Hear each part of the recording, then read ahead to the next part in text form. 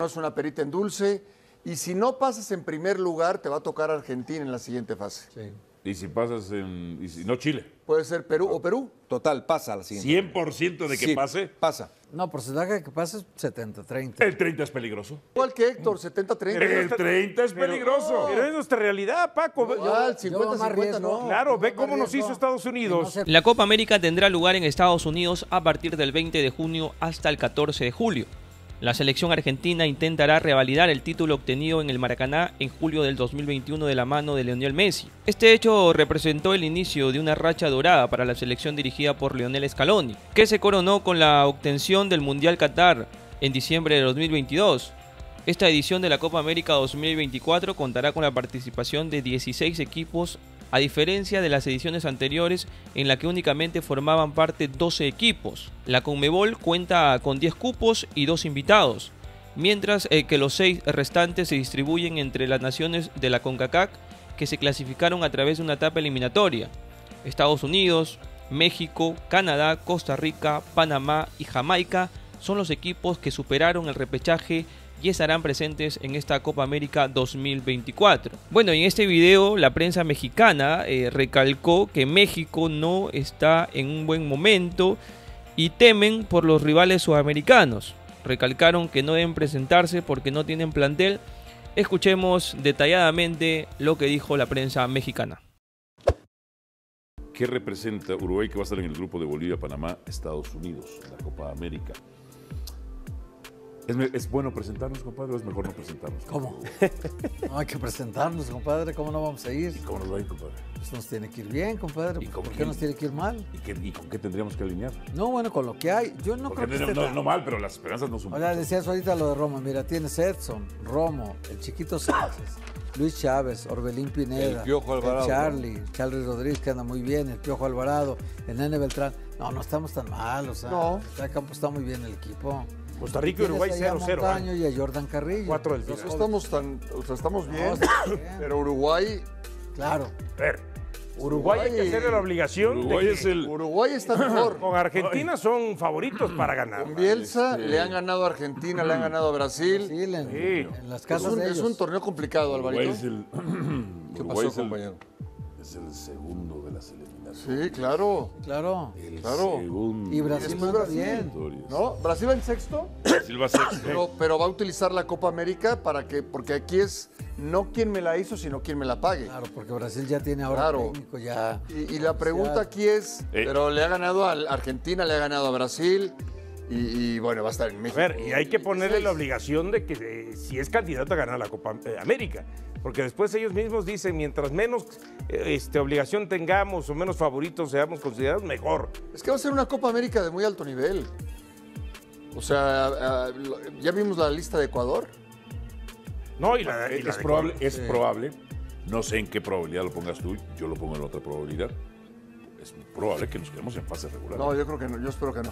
Esperas que no. que Verás no, que no, pero sí pe- tienes un pero grado si de hay ese probabilidad en la riesgo. A cabeza. ver, Si hay ese Venezuela, riesgo. Venezuela está jugando las mejores eliminatorias Claro. de la historia. Así Claro. es. Ecuador- Soteldo el otro día metió Bueno, cualquier cantidad de goles. Ecuador tiene un buen nivel, Jamaica no es una perita en dulce. Y si no pasas en primer lugar, te va a tocar Argentina en la siguiente fase.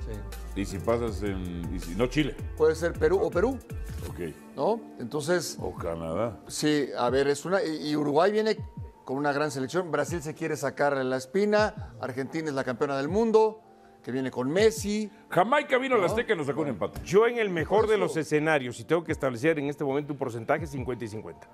Es peligrosísimo. Claro, Es sí peligrosísimo. riesgoso. Yo sí lo veo riesgoso. Habrá que a lo, a lo mejor quienes no, pero yo lo veo 50 y 50 dividido en este momento para México. Y más si vas a ir a probar jugadores. Profesor. Yo no creo avanza. que pasa, no pasa a la siguiente ronda. ¿En qué porcentaje avanza? El, no, no, no. El total pasa a la siguiente. 100% de que Sí, pase. Pasa. Pasa y después de ahí, ya no sé. Compadre. ¿qué No, yo creo que pasa. Pasa. ¿Qué porcentaje de que le pase? No, porcentaje que pasa es 70-30. El 30 es peligroso. Sí, es peligroso. El 30 es Sí. peligroso. Pero, pero es por poner un porcentaje. ¿Qué porcentaje de qué Pero pase? Dionisio no puede decir 50-50. Claro, Paco. Mucho, Ese fue mucho muy pesimismo. exagerado, mi compadre. ¿Cuánto No. dices tú? Mucho pesimismo. De que pase. No, yo veo igual que Héctor, 70-30. El 30 es peligroso. Pero es nuestra realidad, Paco. Igual, yo veo más 50-50 riesgo. no. Claro, ve cómo nos hizo Estados de Unidos el otro día. Pero Estados Unidos no es nuestro grupo. No, claro que no. el riesgo yo. Que México no sea primero del grupo. Eso sí es riesgo porque nos tocaría Argentina. Ajá. Eso sí es un riesgo. Si pasamos en segundo es muy bueno, ¿eh? Sería bueno. Porque en segundo. además, Segundo Sí, claro, sería muy bueno que nos y toque en el Argentina. Mundial, Por lo la menos selección pasas. argentina no requirió de un penal contra nosotros. Se resolvió solito. Bueno, estaba el Tata Martino, ¿no? Que tácticamente entrega el partido. 30 es bastante. Es altamente riesgoso el 30% que dan acá. Usted dice que el 100%. Sí. Eso es una locura, profesor, pero es No, televisiva no, y se lo no, agradecemos. no, O sea, no, no. Eh, lo dice la No, antropología de la más televisión. el cuadro titular. sí. El cuadro titular inicial es el mismo. México va bien parado. A ver, Compadre, somos más Compadre. que Uruguay. Probablemente no, ni que Brasil. No, pero no lo que somos, Héctor. Argentina. No probablemente, Pero, pero no hay que verlos, hay que verlos, hay que verlos también. A ver, las Y la otra- veces que los vimos, igual y la otra que ahí la diferencia. La Copa América vuelve a jugarse después de tres años y tendrá a Estados Unidos como anfitrión. Los grupos ya están conformados. En el grupo A está Argentina, Perú, Chile y Canadá. En el grupo B tenemos a México, Ecuador, Venezuela y Jamaica. En el grupo C tenemos a Estados Unidos, Uruguay, Panamá y Bolivia. En el grupo D, Brasil, Colombia, Paraguay y Costa Rica. Este jueves 20 de junio abre el telón de la Copa América en el Mercedes-Benz Estadios de Atlanta, Argentina y Canadá. Y los equipos de la CONCACAF saben el alto volumen futbolístico que tienen los equipos de la CONMEBOL Sudamericana, el cual la prensa mexicana se refirió al gran nivel que viene teniendo Uruguay, que está segundo en la tabla de eliminatorias. Ni hablar Argentina, actual campeón del mundo. Y es por ello que como mexicanos no se sienten favoritos a competir y lamentan presentarse porque pueden quedar en ridículo. Hablaron de Perú y ellos lo ven como clasificado dejando a Chile afuera del grupo A.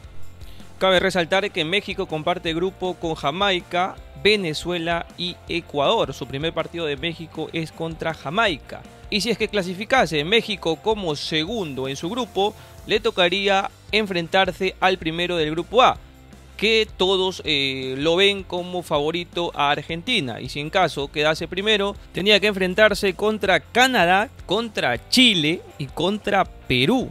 Cabe resaltar que Perú en estas últimas Copas Américas siempre ha sido un torneo para bien, el cual eh, llegó a una gran final contra eh, Brasil.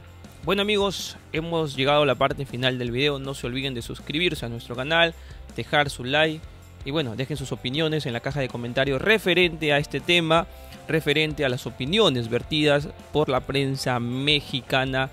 ¿Qué creen? México llegará a clasificar en su grupo teniendo a un Venezuela que viene muy bien, a un Ecuador que viene muy bien y contra un Jamaica que siempre es muy complicado. Déjenme sus opiniones en la caja de comentarios y nos vemos en un próximo video. Chau chau.